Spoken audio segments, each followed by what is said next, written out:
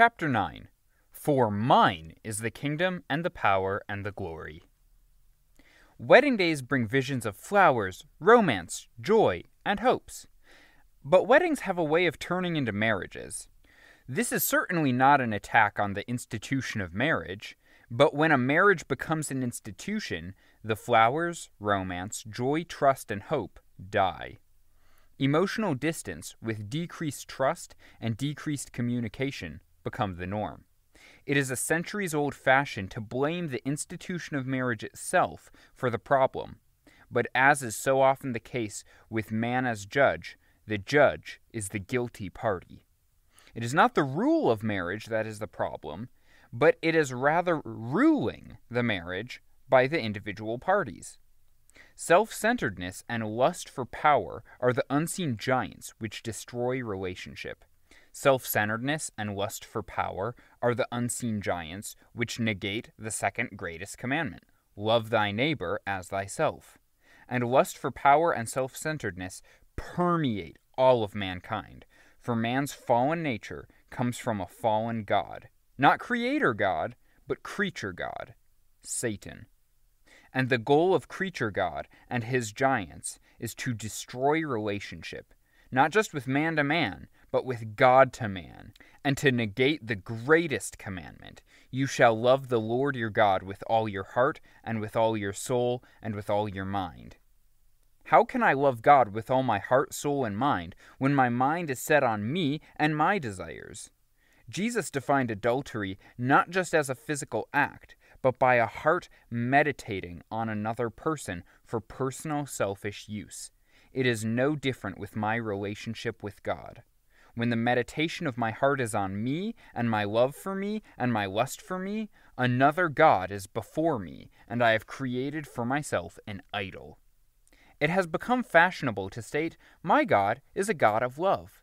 Interpreted, this means the God I have created does not judge my selfishness and ignores any wrongdoing on my part. But mankind does not have the right or ability to state, Let us make God in our image. A God made by man does not raise man up, but pulls him down. Whether the God be stone, wood, or flesh, or an imagined friend, the sentiment of a God of love is often used in response to a mention of God's law. The belief has become that Jesus' purpose is not to save me from my sin, but to save me from the law. Yet this same Jesus, when speaking of love, stated in John 15 9 through 10, just as the Father has loved me, I have also loved you. Abide in my love. If you keep my commandments, you will abide in my love, just as I have kept my Father's commandments and abide in his love. Paul stated in Romans 13:10 that love is the fulfillment of the law, because love does no wrong to a neighbor. If my heart is filled with me, my behaviors will be about me and must result in wrong to my neighbor.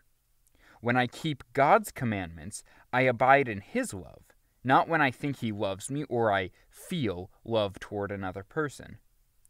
Biblically defined, love involves God's law and commandments. They cannot be separated. Man cannot love apart from God because God is love. Man cannot love apart from God's law because man is man and will act accordingly. If man is a law unto himself, tyranny will result. Not just political tyranny, but personal tyranny. When I am king, all will suffer under my kingship. When I, as an individual, make the laws that I and others are to live by, those laws will benefit me. The resulting strife is what most of us know simply as life, and it not abundant. Mine is the kingdom will be the mindset and behaviors I have when I do not keep God's commandments. My law is not love, but the laws of God are. Meditation is simply applying the law of the king to my heart. It is listening to the commands of the king. It is the action I take to give God the rightful place of king in the kingdom of God. Only the power of the king's commandments, with his life in me, agreeing with those commandments, can rule my rebellious soul. This is why Jesus' promise of the Holy Spirit was linked to keeping his commandments. In John 14, 15 through 17, we read, If you love me, you will keep my commandments, and I will ask the Father, and he will give you another helper, that he may be with you forever. That is the Spirit of truth, whom the world cannot receive, because it does not see him or know him. But you know him, because he abides with you and will be in you. Notice the main points, all connected loving Jesus, keeping his commandments, and the promise of the Holy Spirit. My double minded soul, listening to self, will disagree with God and fight against the Holy Spirit within me. Which is why the Bible, directed and inspired by the Holy Spirit, continually focuses on the importance of the Word. Phrases such as, wash by the water of the Word, in the beginning was the Word, the Word was God, long for the true milk of the Word to grow thereby, the word of the Lord came, the word of his power. Your word is truth. Preach the word. The word of God is living. The word implanted, which is able to save your souls, abound in Scripture. And the word of God is not just ordinary words, it possesses a power all its own. Hebrews 4:12 states, "For the word of God is living and active and sharper than any two-edged sword, and piercing as far as the division of soul and spirit, of both joints and marrow, and able to judge the thoughts and intentions of the heart." God's word has a power to affect the existence, soul and spirit of mankind not as normal spoken words, but with a miraculous, non naturalistic power which is not quantifiable on cause effect basis. It is living, it is active, it is God. The exhortation to have my life be a life of the Word comes with a very serious problem. God's Word and ways are foreign to my life. My natural life, my flesh, is in rebellion towards God. I think humanly, and I react humanly. Humanly is not godly. To agree with God, my very nature must be changed. My soul does not naturally agree with God, and it is powerless to change, and really does not want to change. My nature must have a new nature. With this thought, the new birth makes sense. A new life must replace my natural life. But it must be a life that agrees with God. And the only life which will do that is God's life itself. So, God gives me a new spirit, His spirit. God's spirit within me agrees with God's word. His life in me creates a new birth. Scripture literally says, I am a new creation. This new creation is a unique individual. It is a mixture of God and man. It still looks like me, and my personness, personality, is still me but its rebellious nature is changed. I am now not the human creature I was. I am now in Christ, and Christ is in me. I am no longer a natural man. I have become a supernatural man. No longer Homo sapiens, but Theohomo. And as a supernatural man, I can now agree with God. The very life of God living in me agrees with God for me.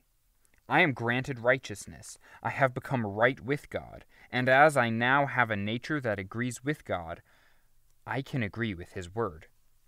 True fellowship with God is agreement with His Word. Amos 3 3 states that we do not have fellowship with those with whom we disagree. 1 John 2 verse 3 states that coming to know God is keeping, Greek tereo, his commandments. Again, we do not have fellowship with those with whom we disagree. This has everything to do with the way to true Christian fellowship.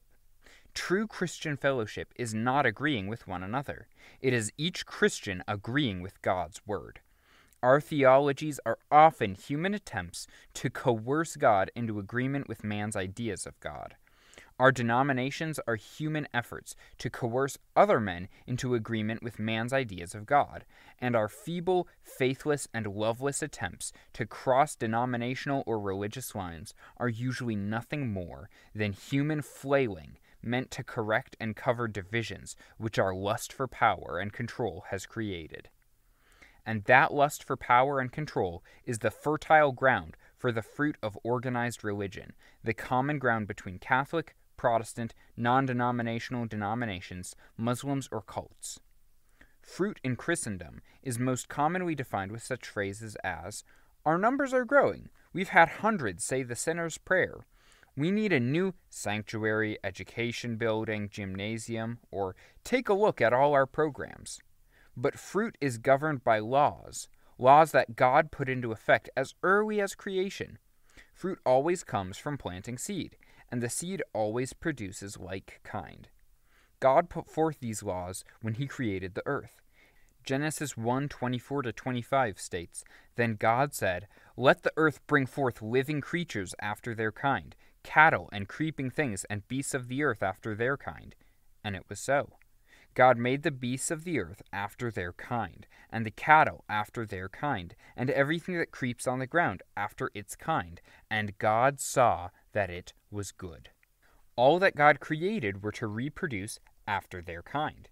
Jesus stated in Matthew 7 that grapes are not gathered from thorn bushes, or figs gathered from thistles. Paul tells us in Galatians 6 that a man reaps what he sows. God created the laws of genetics. They cannot be changed.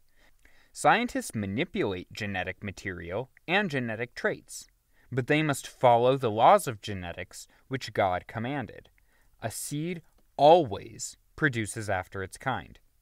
Jesus said, I am the vine, you are the branches. My life is to bear the fruit of the vine.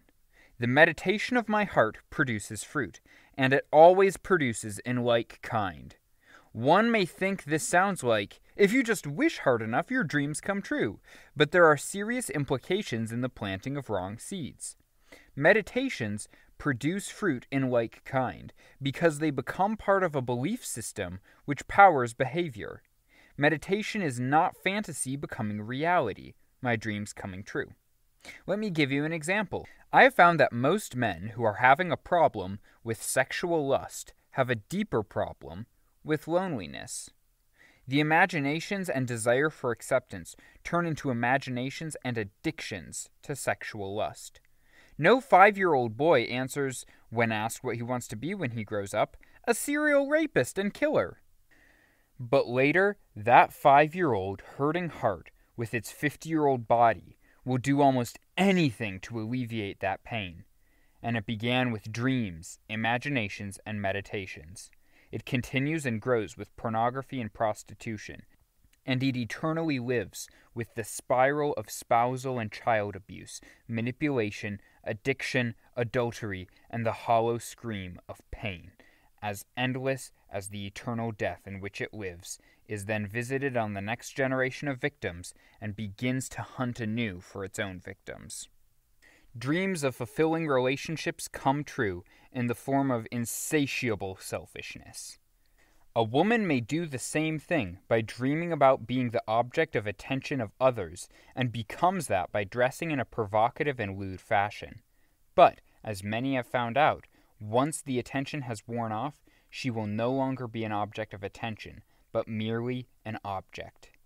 Simply dreaming about being a great sports figure or musician without the reality of hard work will only plant the fruit of disappointment, bitterness, and decreased motivation. Meditation on money and power is the seed which produces the fruit of a sense of entitlement, discontent, and rebellion. The seeds of selfishness, self gratifying meditations, produce fruit precisely after their kind. A self centered, self deifying personality, a God who endangers self and all others, a God in need of a God, a God in need of a Savior. Imaginations do not become reality. Small imaginations become greater imaginations. And here we must add that there is also a self centered, self deifying institution. The organized church, with its dreams, imaginations, and meditations, has dressed itself in a provocative and lewd fashion with worldly counsel, teaching, programs, and music. Meditation on money and power has produced a sense of entitlement, discontent, and rebellion against God's Word the seeds of man centered, number centered, and church growth centered programs. No matter how we whitewash them with the name of Jesus, produce a fruit which is antichrist and glorifying to the numbers of man. God has spoken through his Son. He has very clearly defined how his disciples are to produce fruit. He has very clearly defined how his disciples are to give glory to the Father in their production of that fruit. Jesus states in John 15, 7 through 8, If you abide in me, and my words abide in you, ask whatever you wish, and it will be done for you. By this is my Father glorified, that you bear much fruit, and so prove to be my disciples. Jesus gives us a pattern here to production of fruit, his way. If you abide in me is called a relationship. There is not one speck of religion in this statement. Religion lives in a church building. Relationship lives in oneself. The temple of God is not an organization or an institution. It is the individual where the Holy Spirit dwells. 1 Corinthians 3:16. The word abide in the vernacular would be live. We are to live in Christ while on our jobs, at home, waking, sleeping, breathing. I'm afraid we've missed the point of it all. It's not buildings, programs, or organizations, and it certainly is not the glorious church. Paul tells us in 2 Corinthians 6:16, "Or what agreement has the temple of God with idols? For we are the temple of the living God. Just as God said, I will dwell in them and walk among them, and I will be their God, and they shall be my people." Do not think that this is the only statement to this effect. This idea permeates Scripture.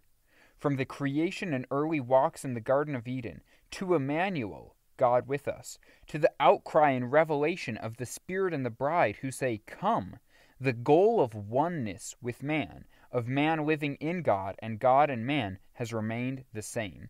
And through this relationship, God has said he will produce his fruit. The next requirement Jesus mentions, which must be present to produce fruit, which is glorifying to the Father, is, My words abide in you. We have just spoken of the word abide as meaning to live. We are to live in Messiah, so also his word to live in us. Again, to live in is not a flippant casual walk through an area so familiar to our knowledge that there is no knowledge. This is not a casual reading of the word. This is not morning devotionals. This is not reading and forgetting. This is meditation. Meditation to the point that the Word of God fuses with one's life. His thoughts become my thoughts, and His ways become my ways. It is deep relationship with the Word, written and incarnate. It is a deliberate, planned change of one's belief system. It is the subject of this book.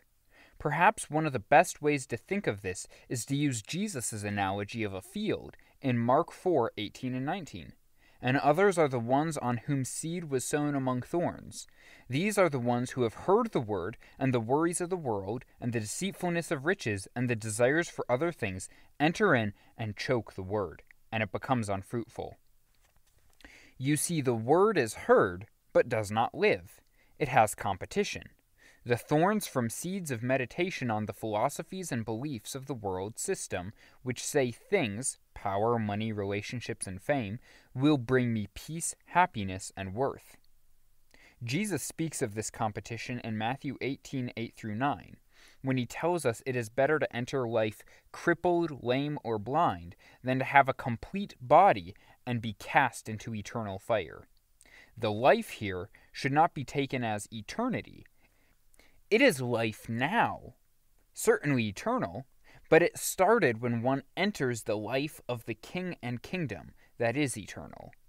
But we will not enter into life as it is to be lived if we do not remove the competition. Another important place where we see this principle established is in the cleansing of the temple. We see Jesus enter the temple, look around, calmly sit down and braid a whip, and then very purposely he removed the competition. Jesus' words abiding in me bring fruit. It is not the media's words, worldly philosophy's words, or even reading about Jesus' words that bring fruit as Jesus describes. Competing thoughts and beliefs choke the word and make it unfruitful. So Jesus tells us that it is the closest of relationships with Him and with His words that will bring fruit as He describes and desires. But there is one more piece to this natural progression that we have not discussed, and sadly, not just in the current treatise, but it is ignored by almost all of us in the church, organized or real, through all of history. Jesus' next statement in John 15:7 is, "Ask whatever you wish, and it will be done for you." Ask whatever you wish, and it will be done for you. Asking is prayer, and prayer is not a religious activity. Prayer is conversation with God, not a monologue, and not done only in church or at the bedside. It is without ceasing. This always sounded so impossible. But this was again because of faulty religious definitions that I had. Conversation is not simply verbal communication, and, as already stated, it is not a monologue, and thus requires also listening. We do this very type of communication with other people all day long. We speak, listen, show facial and body language which indicates our thoughts on the subject, and then we may behave in accordance with the impact of that communication. All this is conversation without ceasing, and conversation between man and God without ceasing is prayer. Perhaps this can be pictured by an elderly couple that is still deeply in love after their many years together and very comfortable with themselves as individuals, and have that depth of communication that does not require constant words, but can be conveyed by the movement of a hand, a micro movement of the face, unperceivable by all save the partner, a sigh in the night. Ask whatever you wish, and it will be done for you. The independent, arrogant mind of man, even those who are Christian, interpret Jesus' statement as, I am going this way or I am doing this. You, God, are to come along and help. But Jesus did not say he would help. He said, Ask, and it will be done for you. Church programs, denominations, the latest church growth fad, Paul's great learning and accomplishments, your and my great learning and accomplishments are all dung in comparison to having and knowing Christ. And none of these are the way to bear fruit, as Jesus said. Asking and allowing God to do it for us is the way in which we bear much fruit, and Father is glorified. All our fleshly efforts do bear fruit, but not to the glory of Father, but rather to the glory of mankind, church kind, religious kind. The Tower of Babel, rising to make a name above the name above all names. In the famous verse of Revelation 13:18 regarding the beast, we see stated, "The number is that of a man, and his number is 666." The Greek in this sentence reveals a subtlety. There is no definite article a in the Greek. In other words, the phrase a man is not there. There are two most commonly used words for man, one is andros, which is usually used for an individual man or husband, i.e., a man. This is not the word used in this sentence. The word used is anthropos, whose primary meaning is mankind as a whole, universally mankind or man as a species. So perhaps a better understanding of the sentence is not in terms of a specific man, which may be true, but of mankind as a whole in his pride opposed to Christ's kingship in his life. We keep looking for a world leader to rise up and be the Antichrist, when it is mankind as a whole who, in his pride, in his self sufficiency, and in his pompous assumption of the role of building the church, is Antichrist. It is mankind looking at the I am and stating, Not you, I am. Antichrist is me and there is no need to fear the phrase, whatever you wish, for anyone who lives in Messiah and in whom Messiah's words live will have his or her wishes changed from those of this world to the wishes of God.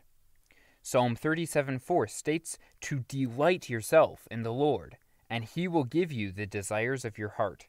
If you are delighting yourself in the Lord, the desires of your heart will not be for worldly things, for he will give your heart new desires, desires of and from the heart which is all love. Asking whatever you wish will not be the wishes of a worldly, double minded, antichrist heart. It will be from a heart filled with the wishes of the true Christ. For according to the verses upon which we have been focused, if you abide in me, and my words abide in you, ask whatever you wish, and it will be done for you. By this is my Father glorified, that you bear much fruit, and so prove to be my disciples. The glorification of Father and the production of much fruit is answered prayer.